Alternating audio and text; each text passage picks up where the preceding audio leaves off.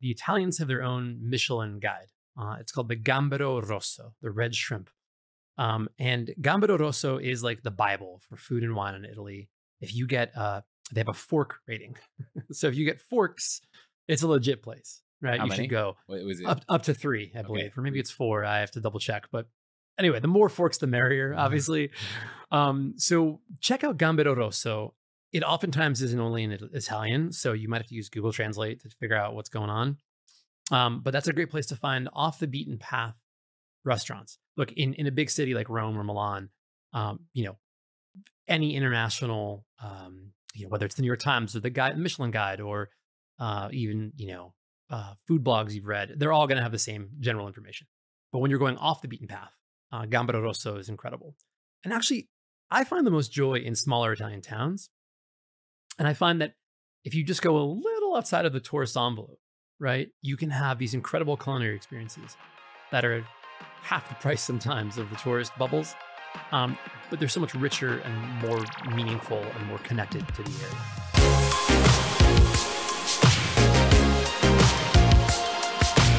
Leigh, thank you for being here. Round three. Uh, you get to take the title as most most visited guest. You already had it, but now you get it again. I feel incredibly honored. Thank you for having me here. Thank you for having me here in this new uh, setup you have. I'm looking around. It's really quite impressive. Beautiful job you've done. Yeah, I took this course, dreamstudiocourse.com, that this guy Kevin Chen created. And you'll get a better view if you're watching this on YouTube than listening. You can't really see it. Uh, you'll get an even better view when I start to actually record in a couple days with virtual thing because that was what I optimized for. But there is now an in studio option for all the hacks, which we have here. It's very cool. Very cool. Thank you for inviting me in here to, to chat about one of my favorite places in the entire entire world. Yeah, so I am excited because we started with London because I was going on a trip and I wanted to figure it out. And then we dove into Japan. And now we're talking Italy, which I'm really excited about because I was about to go to London. I had been to Japan a lot. And Italy is kind of like the I went on the few days after a college whirlwind trip, but you know, it's a trip that we want to take. And it's not going to happen this year, uh, but it's going to happen in the future. And I'm really excited to dive in. I don't know a lot. I'm glad we have the expert here. Yeah, well, I appreciate you inviting me, of course, and giving me this chance to chat about something that is truly one of my favorite places for people, for food, for culture, for beauty, for sights. For I mean, we could chat for much longer than this podcast will go about everything that's great in Italy. So I'm excited to dive into your questions and share some of my own uh, passion. Yeah. So why do you keep going back? What is it? I mean, you just listed a bunch of things, but what makes Italy such a unique travel place? Yeah. Well, I've been to 70 countries. I've been very fortunate to go all seven continents around the world. And the thing that makes me feel most at home in Italy is just that the Italians know how to live. They know how to live life. Great food, great food and drink, um, great food, great wine, great coffee. But more than all of that, it's just this con- continual enjoyment of life. There's the evening passeggiata where people walk, walking, by the way, walking. Like everywhere, everywhere you can go, you walk, which is incredible. Big cities, small cities, everyone walks. But but they're out and about and they're walking from cafe to cafe. They're seeing friends. They're being social. No one's in a hurry. No one's in a rush. No one's off to catch the next thing. They're just there, living in the moment, being. And if you look at that as sort of like a a narrative uh, example of how you can live, right? These people have been doing this for thousands of years, 3,000 years of civilization in Italy, where they're just being. There's no greater thing to do or to do list or all these things that keep us busy here at home. It's just being. And that for me is so refreshing. So I feel like I have to go back and back and back to get another taste of that every every every chance I get. And of course, the food. When I'm there, I'm tasting that too, and it's just it's it's incredible the diversity and the ability of the Italian cuisine to take these wonderful things from uh, you know throughout their natural abundant resources, the sea, the mountains, their fields, and turn them into these masterpieces on the table. Wow. Okay, so I think one of the things I'm just going to preface everyone to consider, which is, you know, a lot of times people travel and they say, I got to go do this, this, this, this, this. Sounds like a big attraction in Italy is learning to kind of relax and enjoy what you're doing. So maybe that's a theme that we'll just kind of keep here, which is as much as we might talk about lots of cool things to see and do, don't feel like you sp- need to spend every single moment of every single day doing. That is 100% the biggest takeaway I think people can take from this podcast is the discussion of um, be here now in the moment, the place that you are in Italy, knowing that you're, yeah, you're not going to see all the rest of it.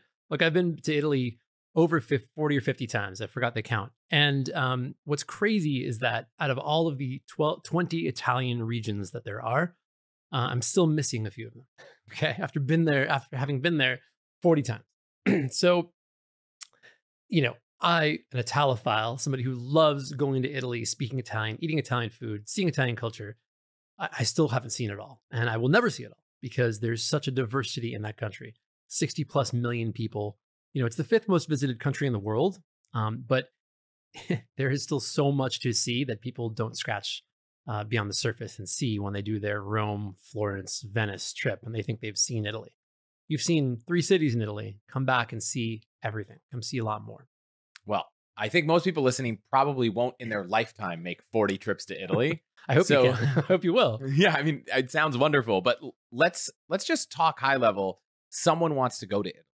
And it's impossible to see it all. Nobody or most people don't have 10 weeks, you know, a year to go spend in Italy, which I'm sure if they did, you would highly recommend. But maybe they've got a week or two and they're like, I want to go see Italy. I want to experience what you're talking about. How would you suggest they start to approach it? Or or what are a few different approaches? Yeah great question. So i think the first thing to realize and understand is that no approach is the right approach. There are so many different ways of seeing italy and so many different you look at it as like a matrix right?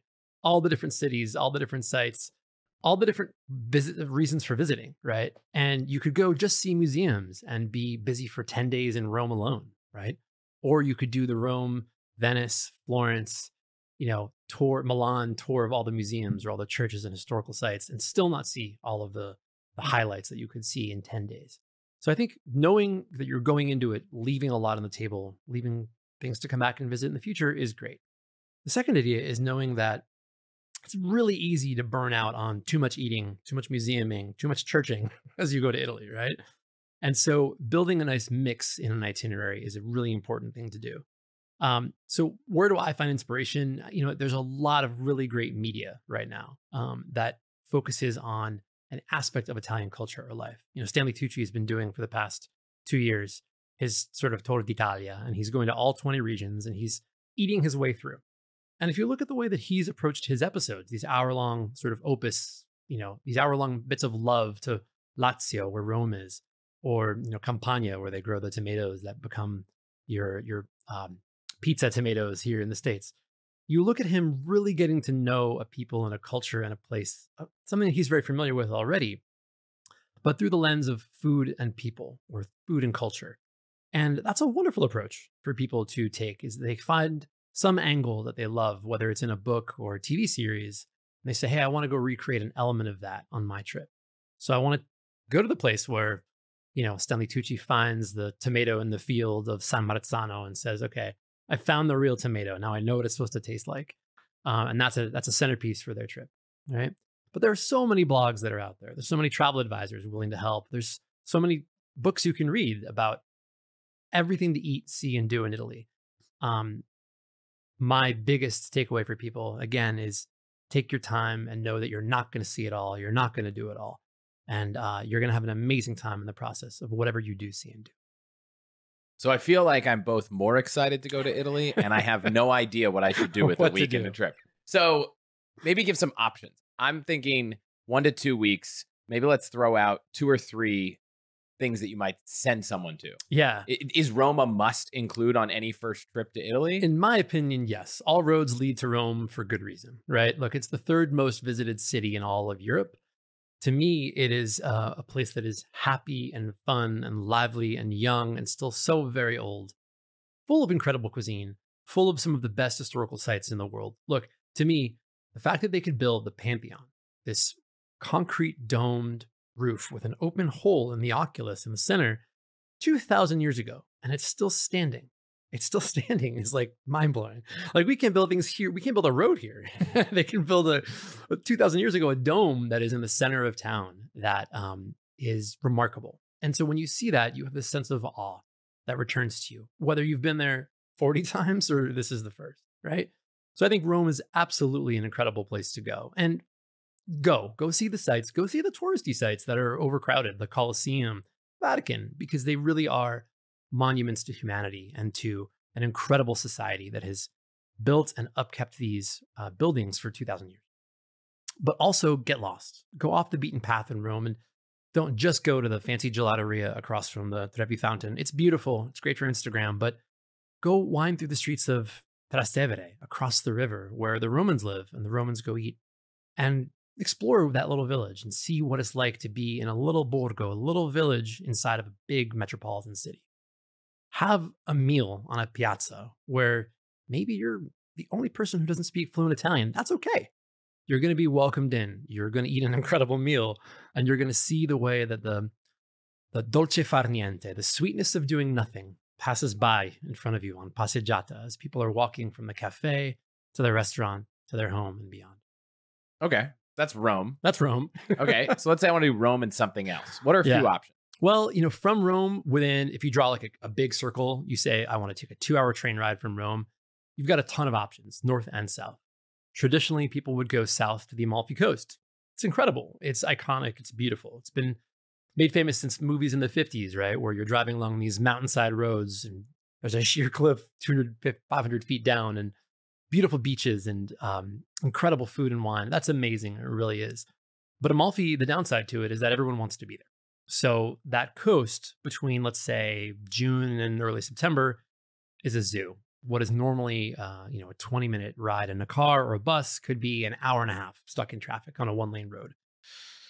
That's a bummer when you're on a limited vacation time. So what I would recommend is go to Amalfi, but maybe go in May or go in late September or October. The weather is still amazing. You can experience it, and that's wonderful. So, another piece to take away from the conversation is seasonality. You can always go to Rome. Rome is happening year round.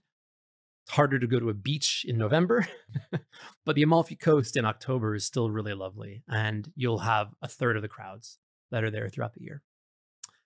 Nearby Amalfi, you've got Naples, you've got Pompeii or Ercolano, which is the nearby town that's like a mini Pompeii that has incredible ruins that are really not visited. You can go walk amongst 2,000 year old homes that were damaged in the ash uh, from Vesuvius in 79 AD, and you can just walk around and there's no one around you.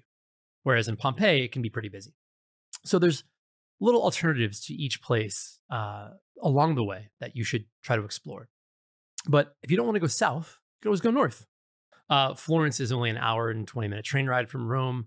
There's trains that leave every 15 minutes. It's an incredible town. It's like a medieval village that still comes alive today. And I actually studied abroad there and did culinary school there in 2003. Wow, a little while ago. And it was just an incredible place to be young, to be alive, and to be living in a medieval city uh, of today. So great sights and sounds, amazing food. Um, if you like pork, that is your city. If you like red wine, that is your region. Uh, and there's a ton to do. But let's say you've done Rome and you've done Florence before. Um, what do you do on your second or third trip back to Italy? Um, most of your flights are going to fly either into Rome or into Milan in the north. That's where most of the flights from North America tend to land. So, what I like to do is get off the beaten path and explore other areas that um, are maybe less popular with North American tourists, but still to me pack authenticity, incredible food, and great experiences into a small area. So, something to consider might be Umbria the green heart of Italy that's right next to Tuscany. Um, you have 2,000 year old villages there. In fact, sometimes even older to the Etruscan age. You've got incredible food and wine, uh, and you've got a third the tourists that are in Tuscany. And you're probably paying half to three quarters the price as well. So that's a wonderful place if you feel confident and you're okay to get off the beaten path by yourself. Even if you don't speak Italian, you can get by in Umbria, eat, drink, and see well and go see some incredible sights and sounds that are uh, unlike anywhere else in the world. The last plug I'll make for Umbria, by the way, in May, May 15th, every year, my favorite festival in the whole world takes place. It's called the Corsa dei Ceri. What that means is the running of the candles. You think running of the candles, how does that candle blows out when you run? How does that work? these crazy people in this town of Gubbio, they take these huge wooden slats. They're like 30 feet long. And a bunch of husky men hold onto them. And on top of the slats are these big, tall columns with a saint on top. And they run these columns or these, these candles through the town, through the medieval town. And the, you know, the, walls of the buildings next to you are like encroaching upon these candles as you run through the streets and they sing songs and they play trumpets and music and it's insane. It's a it's a party and no one outside of Italy goes there. It's like not like it's a running of the bulls or the tomatera in Spain. It's like this true Italian festival in the heart of Umbria. And um, I've only been twice. I would love to go back again because it's to me, it's the most exciting element of seeing people in their thing, doing their thing, living their lives, uh, celebrating their history and culture, and having a blast doing it. Wow. Uh, you you said a couple times, even if you don't speak Italian, should anyone be nervous going to Italy if they speak no Italian? No, because the Italians are the kindest, nicest people, and I say that as a overarching stereotype. You're gonna have your bad apples for sure, but the people who work in trades that tourists are going to be engaging with.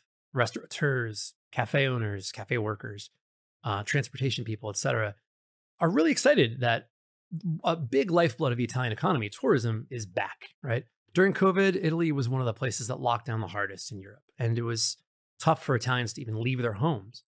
Now that you can leave your home the italians are so excited to have work again to have an influx of tourists again and to see people. You know, look, in 2019, there were 65 million tourists that came to Italy. Okay. 2022, that number was down by about a third. And 2022 was the busiest year for tourism since COVID, obviously. So that's that's quite a difference, going from 65 million to about 40 million in terms of tourists. So tourism is huge for a country of 60 million that really relies on, um, you know, tourist dollars and tourist euros, I guess. So getting by without Italian is totally fine. You may end up in these off the beaten path hill towns where they get fewer tourists. You may end up doing the whole pointing thing and the, you know, uh, shrugging your shoulders thing when you don't know a word, and that's totally okay. The Italians roll with the punches and they love that. So I would not feel worried at all about not speaking the language. Instead, I would maybe if you have a few hours before you go, study up on Duolingo or brush up on, you know, learning some Italian phrases online. A little bit of Italian will go a long way. And you'll never have to worry about, um, you know, feeling like you have no idea what you're saying. Any other kind of cultural norms worth calling out so people kind of fit in and don't don't stand out like American tourists sometimes can? Yeah, don't try to make a 6 p.m. dinner reservation. you know, the Italians, uh, they're not the Spaniards where they're eating at 11 o'clock at night, but but they're not far off. Uh, they do eat on a different schedule than North Americans typically do. So breakfast is lighter. It's a cappuccino, coffee of some sort, and a croissant or a piece of bread. Uh, lunch is a big affair, and it can go on sometimes for two or even three hours. Um, but dinner uh, will take place usually very late. Seven o'clock is the absolute earliest people eat in the winter. In the summer, it's even pushed to eight or sometimes nine.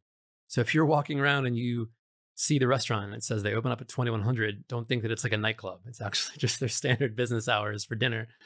And when we were there with even young kids um, you know this summer we, we would eat at like 8 30 9 o'clock and we'd be finishing our meal at 10 30 or 11 and there'd be families with kids our kids ages sitting down for dinner at 11 o'clock which is really really crazy. Do people so, sleep in or or like how do they make this work they do. They sleep in and they take uh, a pausa pranzo. They take a big gap for lunch. So if you're working in an office, let's say, from about 12:30 or 1 till about 3 o'clock, maybe a little later, you're kind of out of the office. People are either eating a long lunch, they're napping, they're just not working, they're going for that passeggiata, whatever they're doing. But um, people do tend to take a, a gap in the middle of the day.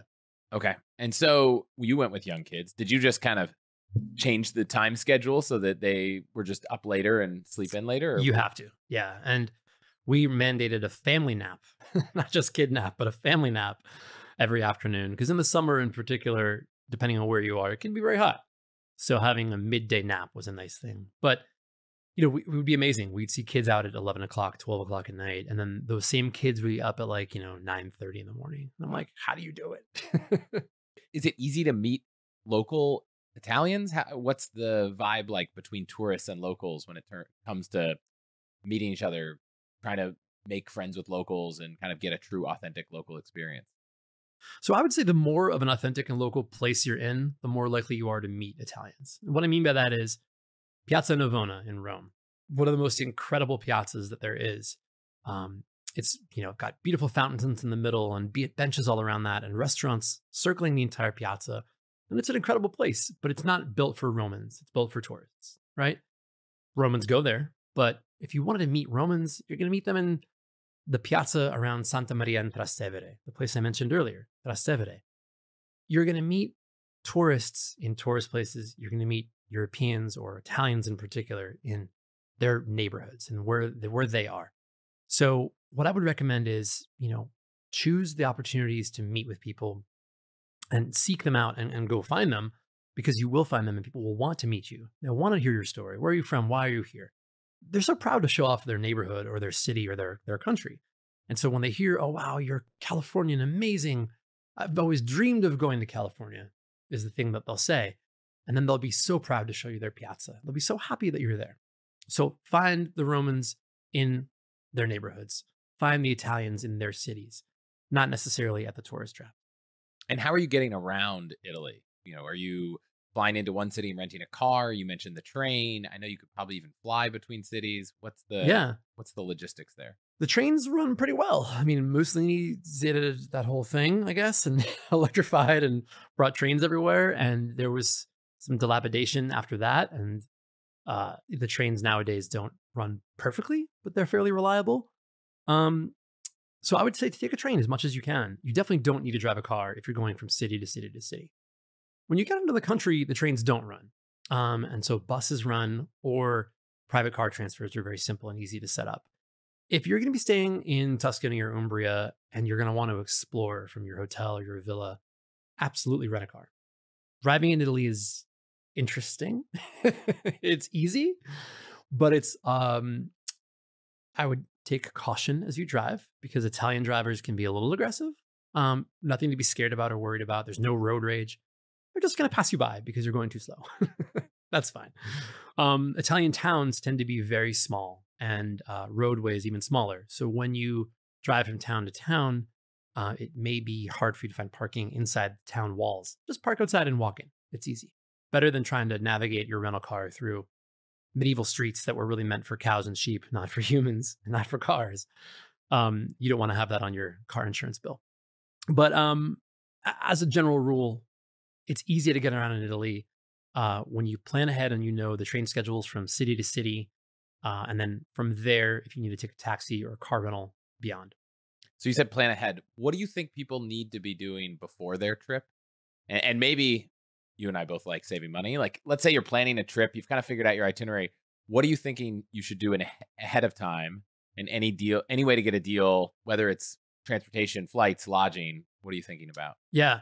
So it, it definitely goes to say that the places you know you want to go, book in advance. So that goes for hotels. It's obviously a lot cheaper to book in advance for um, most of these hotels. You can book a non-refundable rate with a lot of them, and then you'll save 10 to 20 percent. Um, you can also call a hotel ahead of time and say, hey, listen, I see you've got a non refundable thing online. What if I went even further and said, I don't need breakfast, right? Uh, they might even do a bigger deal with you for that if you're interested. Um, but booking ahead is very important for hotels. Um, trains, in particular, your trains will be allowable to book between 30 and 60 days out in Italy, depending on the train line you're on. And typically, the cheapest rates are 30 to 60 days out. So I'd highly recommend that. Um, also recommend uh, restaurant reservations um, at places you must go. Book them in advance, but don't book every night. Give yourself some flexibility on what spontaneously might happen, what you want to pop into, where you want to go, etc. The places that you have to go, like the Pierluigi in Rome or Osteria Francescana, if you can get in, in Modena, book those. Build your trip around them if you need to. But um, when you're in a place, don't have every single meal booked because you may want to have that spontaneity to just, you know, eat a, a bunch of prosciutto on the side of the road because it's really good and it's there. You never know. So we talked a little bit about restaurants.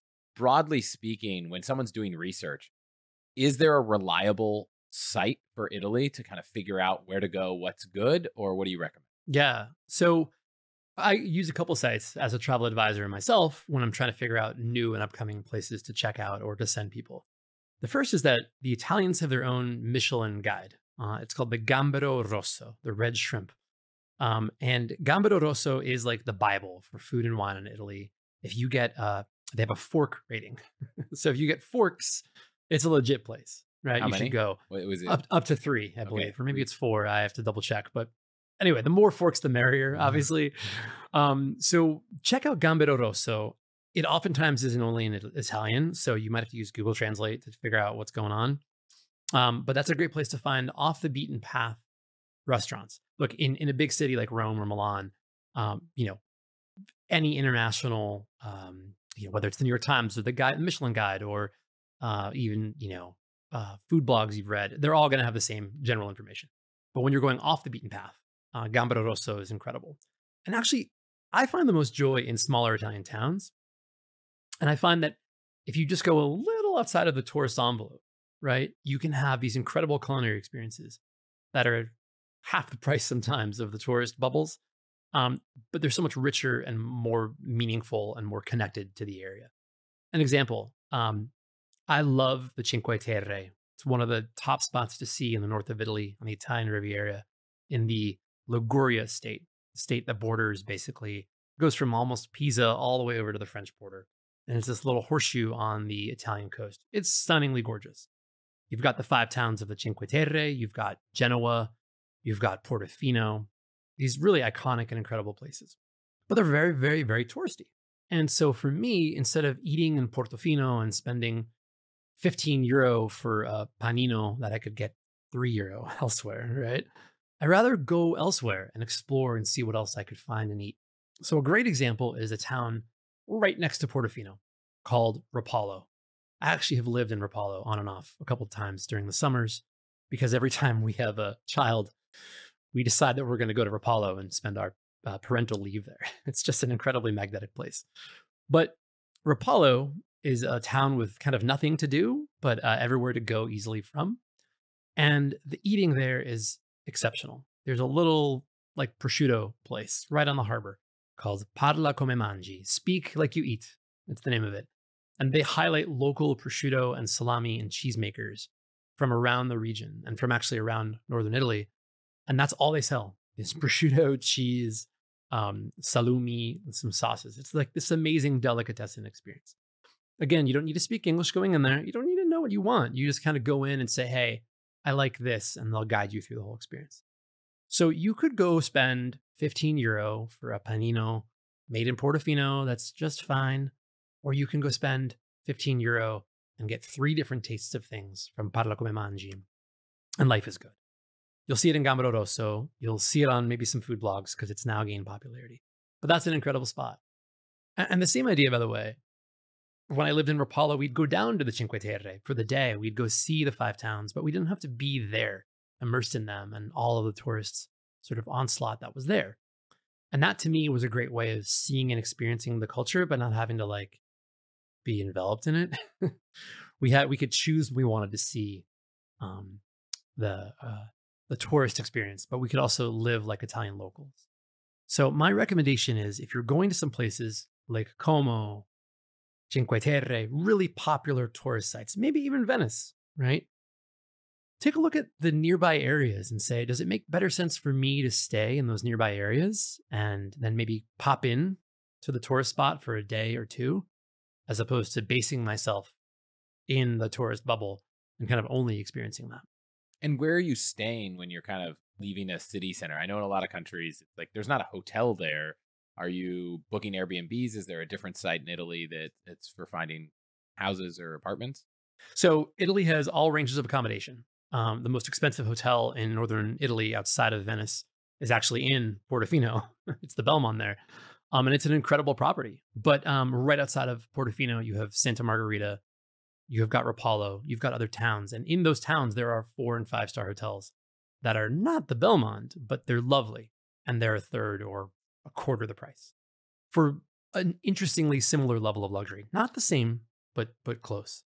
You, of course, can go much down market from there and you can find lots of wonderful things. The Italians are huge on camping. They love camping in the summer. So there's actually campsites within towns that have like motorhome or um, camper van style campers that you can rent sometimes. And that's a really fun way of getting local and immersed. Airbnb is huge there, VRBO more in the outskirts when you're getting into villas and homes outside of town. So you can definitely do that. Um, but honestly, what I like to do is look around on booking.com, hotels.com, get a feel for some of the hotels that are selling through those channels that I may not recognize internationally. And then I go right to their websites and I find what are their specials, what are their deals. I reach out to the, them through their contact form or through their booking form and say, hey, this is when we're coming. We don't need this. We don't need a breakfast. We don't need a suite. Barely going to be in the room. Like, what's what do you got? And they'll absolutely do a deal with you. The best part about some of these Italian hotels too is that they won't take a deposit. They'll just take your credit card, and when you get there, you pay. Um, so some of them have very flexible cancellation policies as well. If you go that route, or if you prepay and you make it non-refundable, you can even get a better deal sometimes. And what about the the kind of typical chain hotels? Are there are, are they worth considering? Are there Hyatt's, Marriott's, Hilton's kind of thing? All or... over the place, all over the map. Yeah. Actually, the funniest thing I think is that the Best Western brand here in, the, in North America, not exactly the nicest hotels. If you go to Italy, they're actually not that bad in some places. And surprisingly, the Best Westerns in off the beaten path cities are actually okay. Uh, now, granted, not my preference always, but it's a, it's a good economical way of staying uh, when maybe the competition nearby is another 100 euro more. But yes, if you've got Hyatt points or Marriott points and you want to use them in the big cities, there's definitely um, opportunities to do so. In Italy, in particular, you should look out for small luxury hotels that are often part of the Hyatt um, sort of World of Hyatt program. Those oftentimes will allow for outsized value where you can use your Hyatt points to save on um, these boutique hotels that would otherwise be very, very expensive. Personally, for me, um, when I'm in big cities, Italy has some of the most incredible hotels that are not parts of big brands. So it's really fun to experience um, some of those hotels. You know, there's one in particular, it is part of the Relais Chateau marketing partnership. But in Rome, um, it's called Palazzo Manfredi, and it is at the Colosseum. And when I say at the Colosseum, I mean there are suites that if you open up your sliding door, the Colosseum is in front of you. There's an unobstructed view, nothing between you and the Colosseum. That's incredible, right? Where else in the world do you get that? And so, sure, you could stay at the St. Regis, which is an incredible property in Rome, beautiful. But you can also stay at the Colosseum, right? So, to me, it's like when you're in Rome, when in Rome, when you're in Italy, you should, you know, Il San Pietro on the Amalfi Coast. That family that's been running that hotel for 40 years now, they've built by hand every single room into rock on the side of a cliff overlooking Positano. There's nothing like that in the world. Right? Which hotel is this? Il San Pietro. And they are incredible hoteliers. They've mastered the art of luxury hotel experiences. Food is remarkable. It's got a Michelin star and it's in Gambero Rosso. It's just an incredible experience. But you know, you could choose to stay at like a whatever hotel nearby, or you could stay in this icon, this place that is truly incredible. There's nothing like it in the world. So when I look at the big bucket list trip to Italy, I look at staying in some places like that if they're available, if they're affordable. If not, absolutely use your points at the St. Regis. It's an incredible place.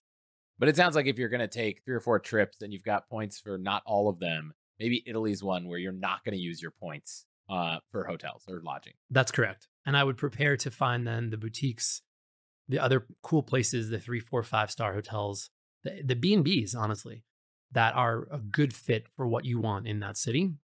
And don't be afraid to look around and comparison shop all over the place and then reach out directly to the hotelier and say, hey, these are my dates. What can we do? Yeah. And what about when you're in the city and you want to do things? Do you need to set up tours? Do you need to set up guides? Do you get lost on your own? How do you find them? What about booking activities, booking things? Yeah, all of the above. right. So, look, there are some bucket list things that you're going to want to see in Rome, right? You're going to want to go to the Vatican. You're going to want to maybe go to the Colosseum if you're into that. Um, and so you're going to want to pre book those as much as you can. Vatican in particular, the thing I like to do is, and the Vatican Museum sells this on their website, so you don't need to buy a special tour for it. But Breakfast at the Vatican, it's called. You actually go to the Sistine Chapel pre opening, and you're part of a very small group of people that can do that. And then you will have breakfast after the fact at the Vatican in their, in their cafeteria. That's an incredible way of seeing one of the most amazing sites in all of the world. It's usually very crowded throughout the day.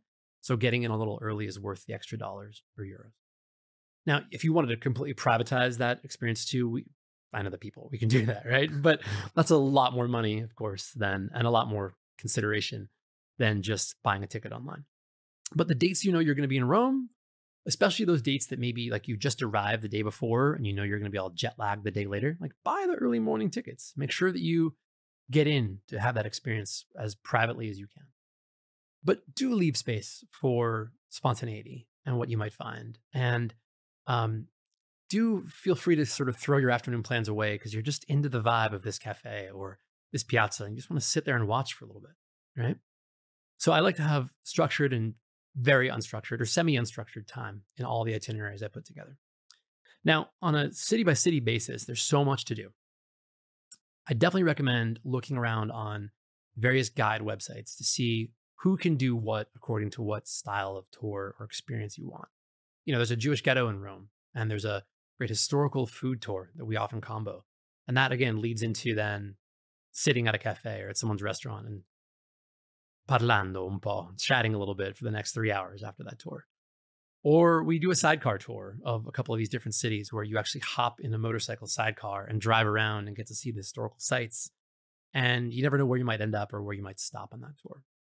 So, some of those kinds of fun experiences, pre planned with flexibility in the end, works really, really well.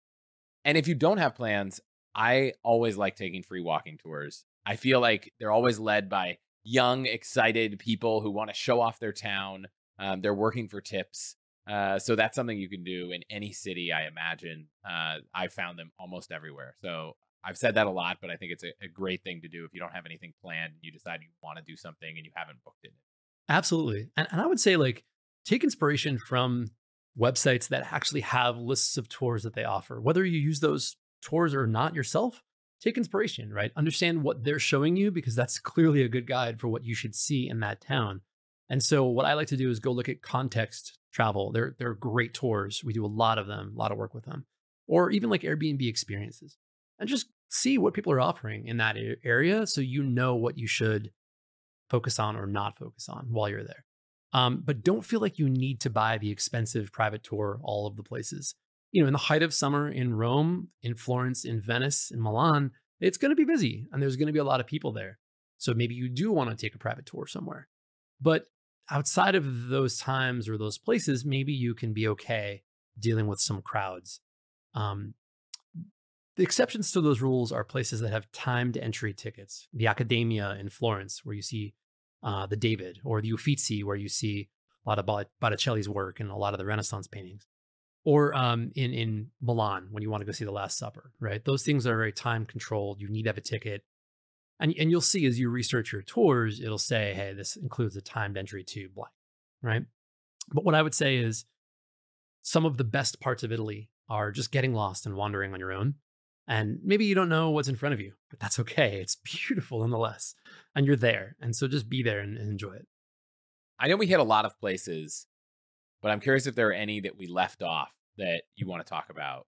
So I think it's important as we record this, it's 2023 and the White Lotus is like the thing in the media right now. And it's their season two, which was filmed in Sicily. And it was filmed at the Four Seasons in Taormina at the San Domenico Palace. It's beautiful, stunning property that they put a bunch of money into, redeveloped, and it's gorgeous. Um, and it's amazing to see the impact of that show and what has happened to um, travel desire around Sicily. Sicily is always a constant for North Americans. We want to go there. We, a lot of um, people with Italian roots came from Sicily or had family of, of yore in Sicily. And so um, people want to go see their genealogy and they want to go see the sights and sounds of Sicily. Um, so it's always busy, but this year it's exceptionally busy. So I would say, A, book now, right? Um, there's a lot of interest. But B, um, know that Sicily is a place where you could easily spend two weeks and not see a fraction of it, right? The area around uh, Taormina, which is where they filmed White Lotus, is incredible. You've got the Etna volcano, you've got um, Catania, Ragusa, um, Siracusa, all these amazing towns that are on the east side of Sicily, full of history and culture and art and food and food and food and food.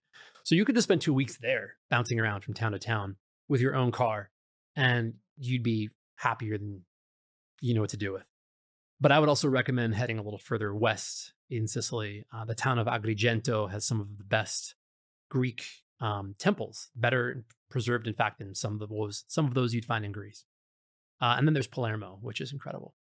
Um, right north of Sicily, you've got the um, Aeolian Islands, um, and you've got these incredible. The word volcano comes from an island in the uh, in that little island chain because there's a giant volcano on it. it's called Vulcano. So I'd go there or Stromboli or some of these amazing places in the summer that have lava and mud baths and beautiful beaches, and it's just you and the, the volcano. So Sicily is incredibly in demand. Puglia, on the heel of Italy, another place incredibly in demand.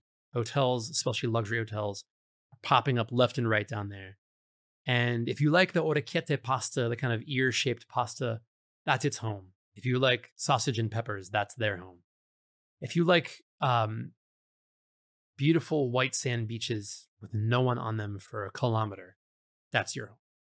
And it's an incredible place where you can go and explore, spend a week, 10 days, not see the same thing twice, and um, eat the best meals of your life. And it's not as expensive as Tuscany or Umbria or elsewhere in the north. So in the south, those are my winners, right? Sicily, Puglia, uh, and they make for great vacations. Do keep in mind if you go in the very heart of summer in July and August, it's hot. Talking could be easily over 100 degrees Fahrenheit each day. That's uh, it's pretty toasty down there, but it's beautiful. You know, another area that I would also recommend as a side trip from the Amalfi Coast. Everyone always goes to Capri, the island of Capri is incredible and beautiful and it's stunning. It's, it's a sight to see, but it's also very expensive and it's very crowded. And you get the sense when you're there that there aren't really any caprese. That's people who live in Capri you don't find the locals, you find people serving tourists. So, my recommendation would be go to a neighboring island right across the Gulf called Ischia, I S C H I A. There you'll find true Italian. It's a place that is volcanic in origin. So, you have mud baths and hot springs and crazy stuff all over the place. You have uh, people who are so happy and so proud to show you their island because it's less touristed and you have the ability to get around in whether it's a rental car or a Vespa, or actually they drive these little things called apes, little um called bees. They're a little like farm equipment, um, like a lawnmower with a with a couple seats, but they they're stylish and um, they drive you around the island in those, and you can really get to know the culture and the people and the restaurants uh, that way, and at a third of the price of Capri. So I think we hit everything. Anything in the north, we hit. We yeah. moving up the coast. Any? Let's talk about the north. I mean, look, I could talk as I said earlier for hours, but in the north you have Venice, and the Venice is an incredible place to go for a night or two. If you're going to stay in Venice and you've never been before, I absolutely recommend you stay overnight, at least one night, probably no more than two. The reason is that there's a lot of day trippers that come in and out of Venice, and you'll want to see the city at night when most of the tourists leave. It's a magical place. But if you've been to Venice before and you haven't been to the area around Venice, and that could be anywhere from Trieste, which is all the way to the east, close to Slovenia, or even the Dolomites, about an hour or two north of Venice, then you need to go back to that region and go see those places. The true heart for me of the Veneto, which is the area around Venice, is not necessarily in Venice proper, but it's the area around it. It's the rich farmland, the Palladian villas, the beautiful mountains and the other cities, especially canal cities, that make that area so rich. So I would say make sure you see Venice. It's incredible. St. Mark's Square, nothing like it in the world. And then get out of town. Go see something nearby. Okay. I feel like we hit a lot. I think someone listening to this maybe has some inspiration for their next trip. Or they're totally overwhelmed. or they're totally overwhelmed. Uh, maybe listen to it twice. But one thing we didn't do a lot of, you mentioned a few places that you love. Uh, are there any other things that when you think of if you were going on a tour through a lot of these places that are like you got to eat here, you got to have a drink here, you got to have a coffee here? Are there anything like standouts that maybe aren't the obvious ones that someone you know searching blogs are going to find? Yeah, for sure. So as as a general rule, as I said earlier, I love looking at Gambero Rosso. I love looking at the Michelin guide. I love to understand what doesn't need to be three or even two starred, what's Bib Gourmand? Like, what is a good place to go check out that's local and legit?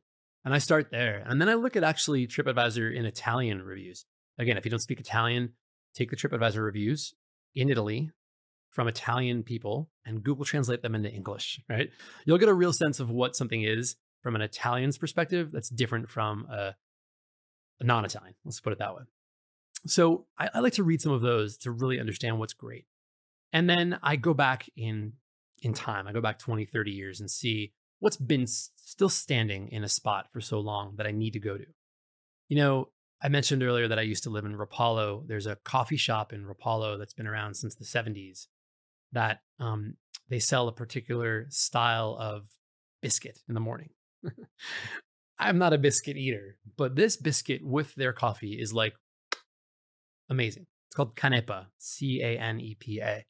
And so it's not like I need to go to Italy to have that, but when I'm there or nearby, that's the only thing I eat for the week or whatever it is of time that I'm in Italy.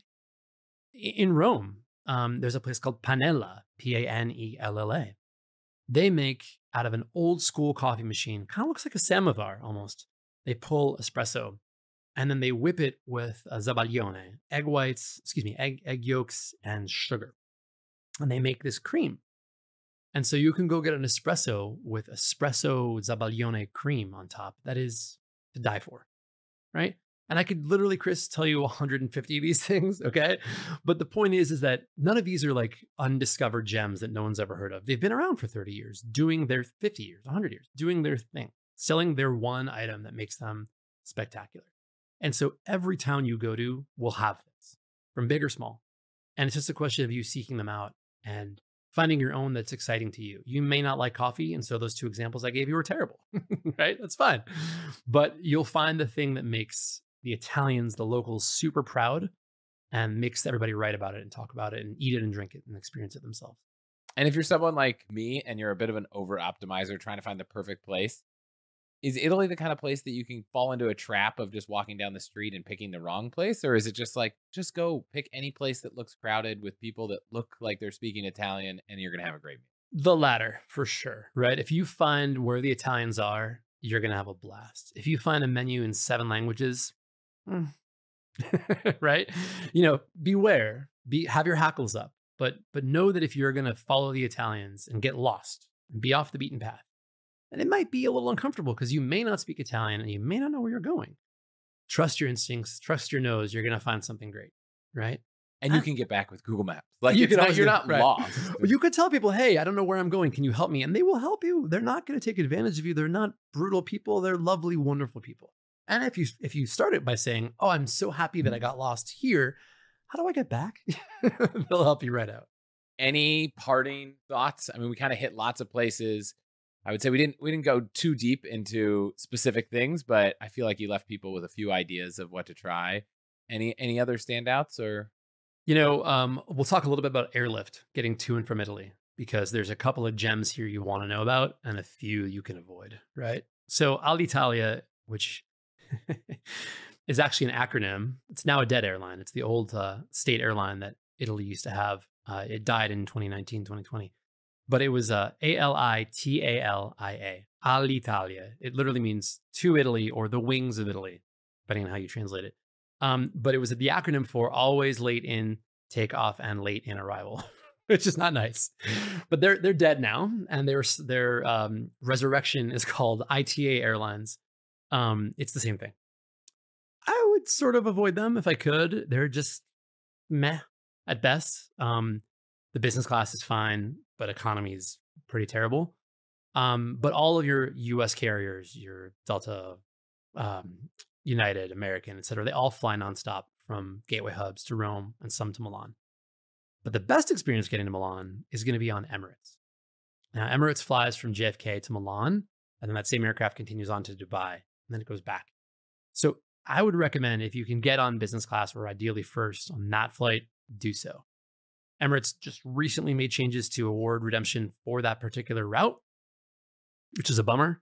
But sometimes on Emirates partners like Alaska and others, you can still find it. So take a look at that. Um, as a general rule of thumb, I would actually prefer to fly through, uh, let's say, Paris. If you're going to fly on Air France La Première, if you're flying in true luxury, then take a nonstop from North America to Italy. Just that extra stop, even though it adds another hour or two, it's such a nicer experience than flying, you know, United Polaris. Um, but there is going to be a, a new United Polaris flight from San Francisco to Rome nonstop coming up starting in May. And that'll definitely help with lift from the West Coast. In terms of getting around inside of Italy, none of the airlines that fly intra Italy are great. So don't splurge for business. Business class in intra Italy is literally just an empty economy seat with a, it's blocked off.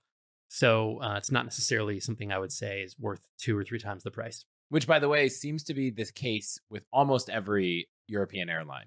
Um, if you're booking an international flight using points in business and you get the intra Europe flight in business for free, why not? Sure, but, but, otherwise, but you will be wildly underwhelmed if you've never had that experience because it, it's literally just a, a blocked seat in between you. Exactly. And in fact, if you're traveling with someone, depending on the airline, sometimes that that seat is actually blocked. Like you yes. can't actually lift up the there's armrest. A, there's and, a thing there. Yeah. yeah so yeah, so uh, if you actually want to sit next to whoever you're traveling with, you actually can't in those seats. Yeah. So yeah. Uh, I totally agree there.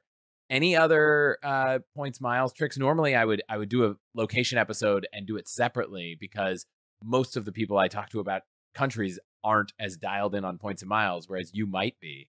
Um, anything there? Yeah. So I mean, definitely on the on the hotel side, um, take a look at using Hyatt points for properties in big cities, especially through the SLH properties. Take a look at using Hilton points. There's a few higher end Hiltons that are sometimes not that egregious. Usually they're pretty bad. Um, and then there are a handful of Marriott properties, uh, especially those on Sardinia, that are usually exceptionally expensive that sometimes allow points redemptions. So usually it's shoulder season, like end of May or early September. But if you can get one of those Sardinian properties, it's normally 2,000 euro a night and it's 60,000 Marriott points. Jump on that twice and then some, right? On the airline side, uh, I do like to fly through uh, northern continental Europe, uh, Germany, Switzerland, France, even sometimes the UK uh, when doing points redemptions because I find that the value of the ticket that I'm usually redeeming for would be greater than um, the price that I would pay for either a, a nonstop flight from the states um, or uh, I, get, I can get a better experience, better bang for my buck. Cool. All right. Well, Leigh, I feel like I'm ready both for lunch, by the way. Now I'm both hungry. Andiamo mangiare, dai. uh, but I'm also excited for a trip to Italy. I don't know when it'll happen because two kids traveling, you know, we're still recovering from the trip to London and Paris, but I'm excited whenever it happens. Just want to call out, Chris. I have done weekend trips with kids to Italy before. It's not an insane idea. You can do it yourselves. Choose one city and go and spend three nights. I I don't think that sounds as fun as you make it seem. Sounds but like your kids in. are older than ours. Uh, I don't know if a weekend trip with a seven month old is yeah, going to be fun. Not really, not really too exciting when they're yeah that little. Cool. Yeah. Well, thank you for doing this. Thank you. I appreciate the opportunity. And uh, dai, andiamo in Italia. Let's go to Italy.